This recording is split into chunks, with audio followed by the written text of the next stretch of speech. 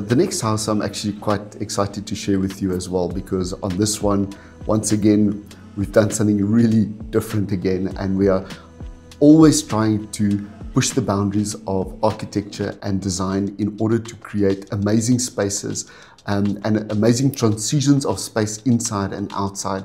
And I'll show you just how we have done it on this one.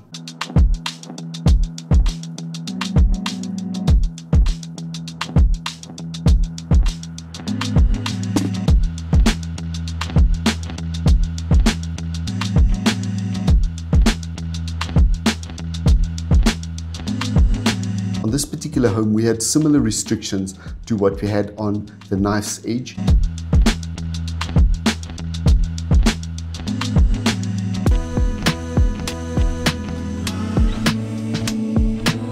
The site is actually not a regular shape. So the site uh, in this particular one is almost shaped like a diamond and it has many, many angles to the site.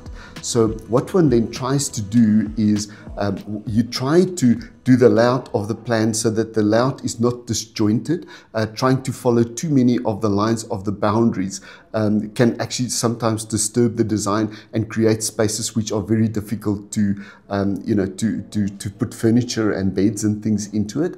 So what we've done in this particular home, uh, once again, we've kept the design of the uh, the house very linear and rectangular to the boundaries on two sides. And what that did in this particular design, it actually flared the design open. So you have two uh, linear arms uh, that are, that's actually flared open. And then in that centralized space, in this particular case, we actually put a double volume lounge.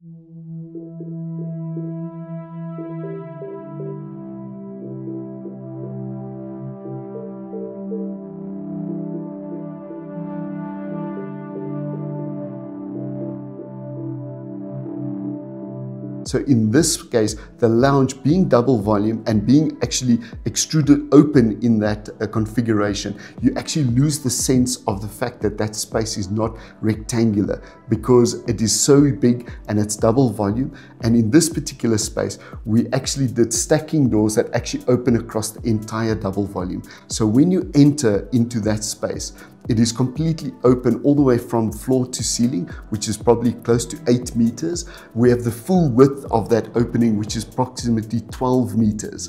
And then that flows directly out onto your entertainment area and your garden in that space. So it's going to look absolutely as amazing when you walk into that. And we will share a view with you with what that is going to look like.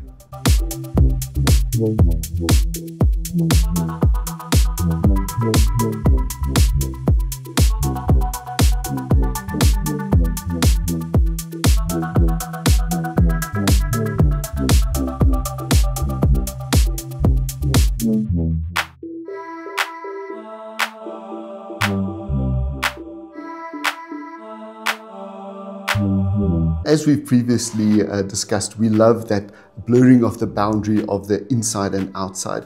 And in this particular home, we did exactly that.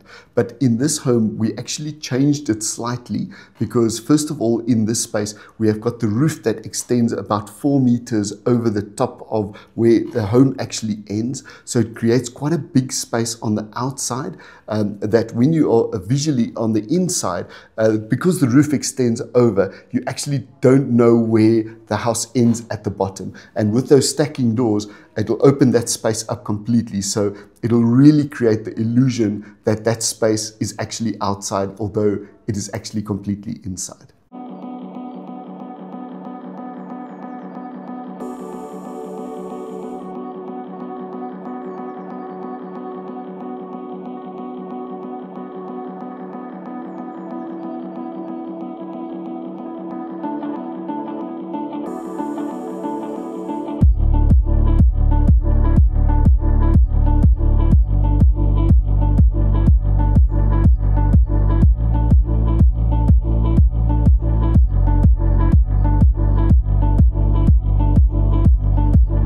So tell me what you think about uh, this design of the lounge and actually opening that space up fully over the two levels as we have done it. In this particular home, because we are always trying to see how we can change architecture and how we can actually step away from the norm uh, that is created within architecture.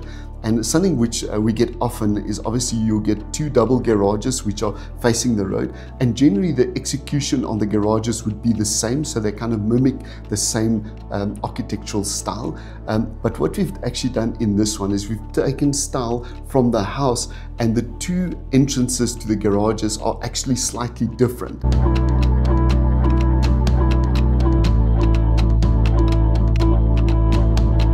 What we've done uh, on the, the right hand side is we've actually grounded that side so made it a bit more solid and earthy and we've actually cladded it in stone so it actually feels heavy and grounded on that side. And on the opposite side we've taken the lighter and more delicate elements of the roof and we've cantilevered that across and we've tapered those roofs so that it actually looks light and airy almost like it's floating um, in that side. And we've brought in a lot of windows on that side so that side is very fragmented as opposed to the very solid side that we've created on the other side. So as you driving past the home, you would probably not really even see that the one side is a garage and the other side not. Uh, your eye will immediately uh, assume it to be something else unless you actually take a slightly closer look to that. So it, it removes that monotonous duplication of the two spaces which you would generally just design the same.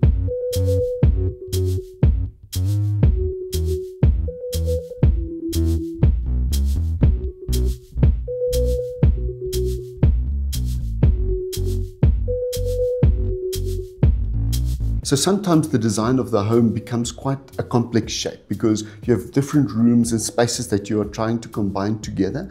And those spaces sometimes create jagged ed edges on the outside of the design.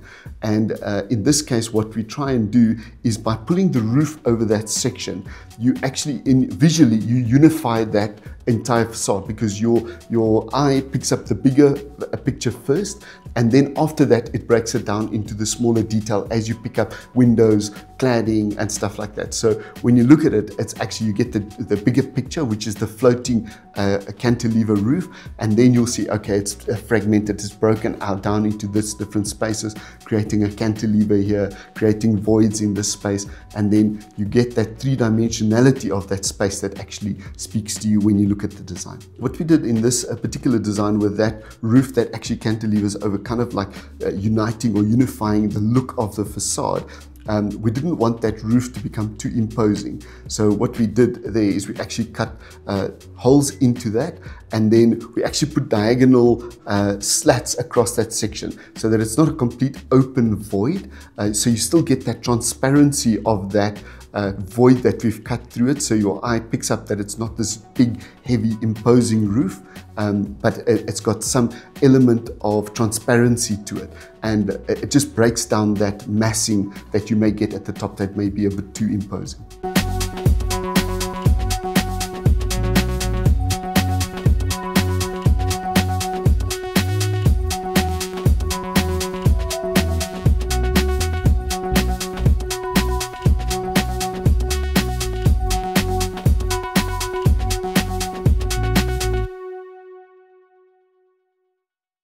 Something that we also uh, did on, on, this home is we wanted one uh, feature to kind of look like it's supporting um, all of these cantilever roofs. So we actually did a cross element uh, uh, construction as, as a column and these columns actually support uh, so you'll see on the uh, the front side where the swimming pool is on that side we've actually done it as over a double volume so it actually supports from the ground the roof that is at the top it intersects a slab in the on the ground on the first floor level and it actually supports that slab within the same framework. So you get this big cross going up to the top but in in the intermediate section it actually is carrying another slab in that section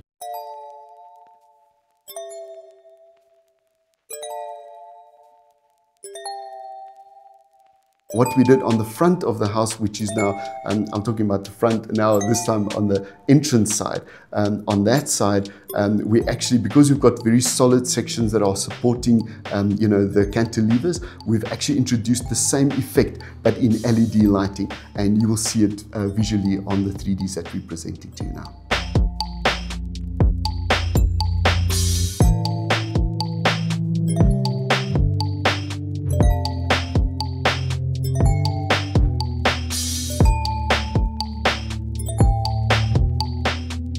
Reason for uh, the cross shape is it's just different to your standard conventional column and we're trying to break away from supporting elements which is just a normal column because it is just it's so overused you know that we're trying to find something which is uh, dynamic and, uh, not within the normal realm of, of a home necessarily. You know that it's it's dynamic and it's different and people go oh well okay hang on a second. Someone has actually thought about what they're doing here. It's not just a column. We're saying how do we support it but make it a feature within the house. So you're actually utilizing it, you know, to your benefit at the end of the day and not just um, for form follows function. Any column that is at an angle, um, your forces are a lot different to what they are on a vertical column. So it does uh, complicate the structure a little bit um, when you do it at an angle, but if the engineers design it in, so if he knows that it's there, it's not complicated because he designs it for, for it like that. Afterwards, if you want to do a column at an angle, then it could become a challenge for the structure, you know. So it would be interesting to hear from our subscribers what they think about this uh, idea of the columns not being vertical, but actually utilizing it in a decorative effect rather than just in a structural effect.